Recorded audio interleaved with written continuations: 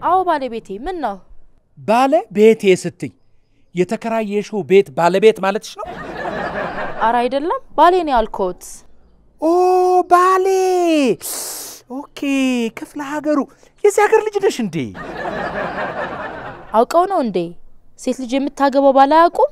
እኮ ወንድ ባል። አዎ የወንድ ባል። መቼ ሴት ሚስት እንጂ ባል አትባል። አንቺ ባላግብተሻል እንዴ? ቆየው፣ እንደውም ሁለት ልጆች ወልጃለሁ። እ? ምን አንጀላጅ እያለሁ ሁለት ልጆች ወልጃለሁ። ምን ነው ታዲያ አላሳዝንሽም? ወገንሽ አይደለው?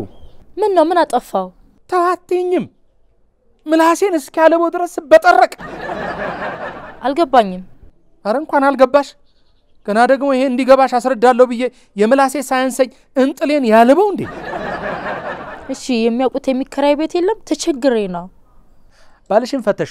እኔ ቤት ለምን ደባላገኝ? ምንድን ነው ያሉት? አይ እየቀለድኩ ነው። የቀልድ ሆቤ አንዳንዴ ያመልጠኛል። እሺ የሚያውቁ ከሆነ ልንገሩኝና ልሂድ። የሚከራይ ቤት እንኳ ሞልቷል፣ ግን ለባለ ትዳርና ልጆች ላላቸው አያከራዩም። ለምን የልጆቹ ጩኸት ቅዘናቸው መከራ አይደል እንዴ? እንዴ? ልጆቼ እኮ አድገዋል። እንኳን አደጉልሽ። እንቱ እንቱ ለቁም ነገር ለወግ ለማድረግ ይብቁልሽ። አሜን። አሜን። ወይ ኃይሉ አንተም ከጅንጀና ወተ ወደ መራቂነት ተሸጋገርክ። ምን አሉ? አይ ወዲህ ነው ወዲህ ነው ወዲህ ነው ወዲህ ነው። እሺ አሳዩኝና የሚያከራዩ ከሆነ ልሞክር። አይ አይ በፍጹም አያከራዩሽም። ትርፉ ድካም። ልጆቼ እኮ አንዱ ስምንት ዓመት አንዱ አምስት ናቸው። አድገዋል። ብዙም ቆሻሻ የላቸውም። ስምንትና አምስት ነው ያልሽኝ? አዎ አድገዋል አይደል? ያላቻ ጋብቻ ይሏቸዋል። ይሄ ነው ገና ጺጺ በነበርሽበት ጊዜ ነው እንደ ዶሮ ራስሽን ነክሶ ያስቀፈቀፈሽ ማ? እንትን ነው። አይ ሰዎቹ ይኸውልሽ አያከራዩሽም። ልጆቹ ደግሞ ቢያድጉም መቼም ይበላሉና ወደ ታች ወደ ታች መግፋቱ አይቀርም። ካሉ እሺ አመሰግናለሁ። እሺ እንዴ ማንሽ ነበረ ስምሽ ማን ነበረ? ህይወት ህይወት። ምን ህይወት ነሽ አንቺ? ሞት ነሽ እንጂ። ምን አሉኝ? አልሰማሁትም። አይ ወዲህ ነው እንትን አሳዝነሽኝ።